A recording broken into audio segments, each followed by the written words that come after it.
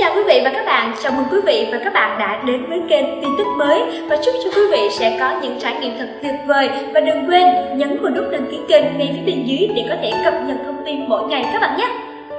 Ngay bây giờ xin mời quý vị và các bạn chúng ta sẽ cùng đến với chuyên mục tin tức showbiz mới nhất trong ngày. Nhật Kim Anh thuê vệ sĩ canh nhà sau vụ trộm 5 tỷ.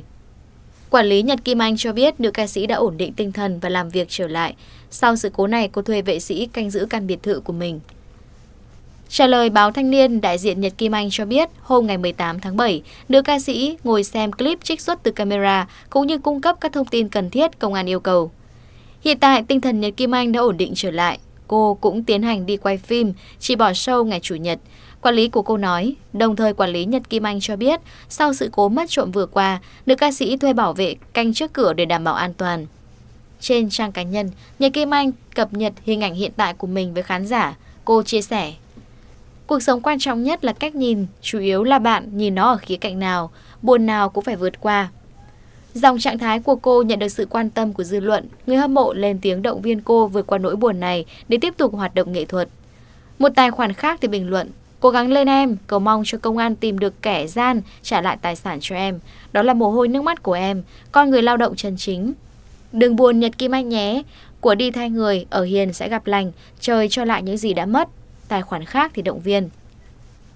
Trước đó, thông tin biệt thự Nhật Kim Anh bị trộm đột nhập, cuỗm mất tài sản trị giá 5 tỷ đồng được dư luận quan tâm. Sự cố này khiến tinh thần nữ ca sĩ không ổn định và phải hủy show để làm việc với cơ quan chức năng. Sau đó giọng ca đoạn đường vắng công khai đoạn camera ghi lại cảnh tên trộm vào nhà, dùng xà beng phá hai két sắt để lấy tiền. Diễn viên sinh năm 1985 mong người hâm mộ chia sẻ đoạn clip để nhanh chóng tìm ra thủ phạm. Bửu Lộc, chồng cũ của nữ ca sĩ, cũng chia sẻ video này như cách ủng hộ cô giữa lúc khó khăn. Nhật Kim Anh mệt mỏi chia sẻ hoang mang trên trang cá nhân sau khi ly hôn. Từ sau khi Nhật Kim Anh tiết lộ chuyện ly hôn, người hâm mộ đặc biệt quan tâm tới tâm trạng của nữ ca sĩ diễn viên đa tài này. Với hy vọng có thể an ủi động viên cô sau những biến cố, cô cũng thường xuyên bày tỏ cảm xúc của mình trên trang cá nhân. Tuy nhiên mới đây, người đẹp bất ngờ bày tỏ bức xúc của mình khiến cho fan hâm mộ lo lắng. Cô chia sẻ, miệng thời thân thớt nói cười, bụng thời nham hiểm giết người không giao thật ghê sợ. Ngay dưới bài đăng của Nhật Kim Anh, cư dân mạng bày tỏ sự đồng cảm với những vấn đề mà người đẹp gặp phải. Nhiều người cũng để lại bình luận động viên và hy vọng cô nhanh chóng vượt qua những nỗi buồn phiền này. Đầu tháng 6 năm 2019, Nhật Kim Anh khiến cho nhiều người bất ngờ khi tiết lộ chuyện đã ly hôn chồng sau 5 năm chung sống. Nhật Kim Anh cũng cho biết chồng cô là Bủ Lộc đã giành quyền được nuôi con. Cô chỉ gặp con vào dịp cuối tuần đôi khi sẽ là thời gian lâu hơn. Chính vì thế tâm trạng của Nhật Kim Anh thời gian này thì vô cùng buồn bã. Trước đó thì người đẹp cũng bày tỏ nhớ con, con chồng cũ của cô lại khéo khoe hình ảnh hai bố con đi chơi với nhau. Tiết lộ những bí mật, ít ai biết về đám cưới của ca sĩ Nhật Kim Anh. Thưa quý vị, ngày vui của Nhật Kim Anh đã xảy ra loạt sự cố trớ trêu. Tháng 12 tới, Nhật Kim Anh sẽ kỷ niệm 4 năm lên xe hoa. Giống như các nghệ sĩ khác trong làng giải trí, ngày trọng đại của nữ ca sĩ Lâu Đài Cát từng được tổ chức khá hoành tráng. Tuy nhiên, ít ai biết rằng trong ngày vui đó, Nhật Kim Anh không tránh khỏi những tình huống trớ trêu. Hôn lễ của Nhật Kim Anh và ông xã Bủ Lộc được tổ chức ở nhiều địa điểm khác nhau. Sau khi hoàn tất nghi lễ sinh dâu tại Vũng Tàu, nhà của Nhật Kim Anh, cặp trai tài gái sắc đã vượt hành trình hơn 300 km để về quê nhà chú rể ở Cần Thơ làm tiếp tiệc báo hỷ. Muốn khẳng định độ chiều chơi, Nhật Kim Anh và người bạn đời không chỉ trang hoàng không gian cưới thật bắt mắt, mà còn đặt may nhiều bộ trang phục để thay đổi liên tục trong bữa tiệc.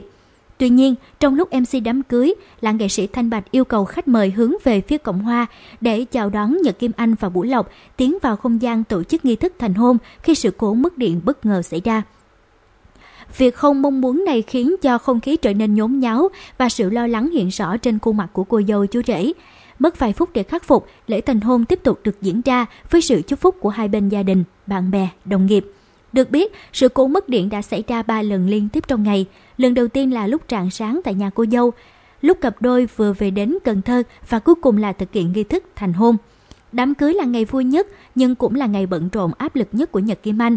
Trước khi về nhà chồng, cô không lường trước chuyện sẽ phải xuất hiện và tiếp đón 1.000 khách, trong đó có cả khách mời phát sinh và người dân hiếu kỳ. Để tiệc báo hỷ diễn ra theo đúng dự kiến, Nhật Kim Anh phải liên tục thể hiện tâm trạng vui vẻ hạnh phúc. Cô cũng không ngại tất bật chạy ngược chạy xuôi để thay liên tục bốn chiếc váy cồng kềnh. vốn là người có sức khỏe yếu và vất vả nhiều ngày để chuẩn bị cho ngày trọng đại, đến phút tiễn biệt khách ra về và dành thời gian để chụp ảnh kỷ niệm, Nhật Kim Anh bất ngờ ngất xỉu khiến người thân, ông xã hốt hoảng đưa vào nhà nghỉ ngơi. Rất may, đây chỉ là sự cố nhỏ và cũng là câu chuyện khó quên khi Nhật Kim Anh nhớ về ngày cưới của chính mình. Nhật Kim Anh bật khóc nức nở khi có cuộc sống đủ đầy vẫn không thể báo hiếu cho cha mẹ mình. Tham gia một talk show mới đây, Nhật Kim Anh bật khóc nức nở khi nhắc đến người cha quá cố và chuyện không thể toàn tâm toàn ý báo hiếu cho mẹ. Dù không phải là tên tuổi hàng đầu trong showbiz Việt, nhưng ca sĩ Nhật Kim Anh vẫn luôn có lượng fan riêng khá là hùng hậu. Cô còn được khán giả các tỉnh miền Tây Nam Bộ xem là nữ hoàng phim truyền hình. Dù đang có cuộc sống sung túc, nhưng giọng ca mưa đã tạnh vẫn cất giữ nhiều câu chuyện đời, chuyện nghề đậm nước mắt. Tham gia một talk show mới đây, Nhật Kim Anh bật khóc nức nở khi nhắc đến người cha quá cố và chuyện không thể toàn tâm toàn ý báo hiếu cho mẹ mình. Ít ai biết, nữ ca sĩ miền Nam nổi tiếng sành sỏi lại là người con của mảnh đất Thanh Hóa. Năm 1992, gia đình cô chuyển vào Vũng Tàu sinh sống, nhưng chẳng may bị cướp sạch của cải trên đường đi. Lâm giàu cảnh túng thiếu, ba Nhật Kim Anh qua đời sau đó một năm vì không có tiền chạy chữa căn bệnh ung thư phổi. Đó cũng là câu chuyện buồn ám ảnh nữ ca sĩ cho đến tận hôm nay. Cô chia sẻ trong nước mắt, Kim Anh cảm thấy mình chưa làm được gì. Đến giờ phút này có thể nói Kim Anh có đầy đủ mọi thứ, nhưng mình muốn đưa ba đi du lịch hay đi đâu đó thì không còn được nữa. Dù hết lòng yêu thương mẹ nhưng giờ Kim Anh luôn ái náy vì cô không thể dành nhiều thời gian báo hiếu cho bà. Giọng ca lâu đài cát bộc bạch, tới giờ vẫn chưa lo được gì cho mẹ hết. Công việc của mình cứ phải đi xa không gần mẹ được. Mọi thứ chăm sóc báo hiếu cho mẹ đều do anh chị làm. Vừa rồi mẹ mổ chân cũng vậy, mình là ở nước ngoài không thể ở bên cạnh để chăm sóc được. Vì mẹ Nhật Kim Anh khá tiết kiệm và sợ con cái khổ nên thường ngăn cô mua sắm quà cáp Tuy vậy, nàng cầm của Long Thành cầm giả ca vẫn tin ý nhờ cậu em tư vấn và có dự định mua một chiếc xe tay ga tặng mẹ thay cho chiếc xe số đã cũ. Đến ngày hôm nay, Kim Anh cảm thấy hãnh diện vì đã làm được những thứ mình mong muốn. Bây giờ Kim Anh chỉ muốn chăm lo cho con và mẹ của mình. Xin cảm ơn quý vị và các bạn đã quan tâm theo dõi video và nếu thấy video hay thì đừng quên like, share và nhấn vào nút đăng ký kênh ngay phía bên dưới để có thể đón xem được nhiều video hấp dẫn hơn mỗi ngày. Còn bây giờ xin chào và hẹn gặp lại.